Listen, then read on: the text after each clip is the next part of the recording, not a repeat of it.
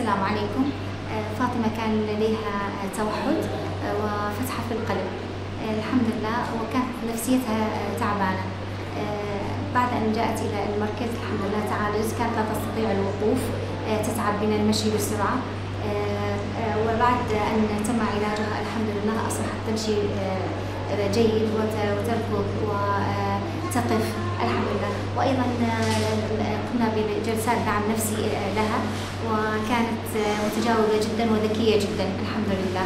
وتخاف جدا من أي من كثير من الأشياء ولكن تجاوزت مرحلة الخوف والحمد لله. فبدأنا معها قليلا قليلا نتكلم معها آه، كلمات حتى بدأت تنسجم معنا.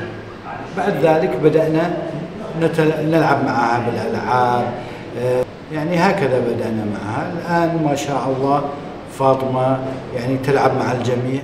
الحمد لله عمل إجينا على هالمركز.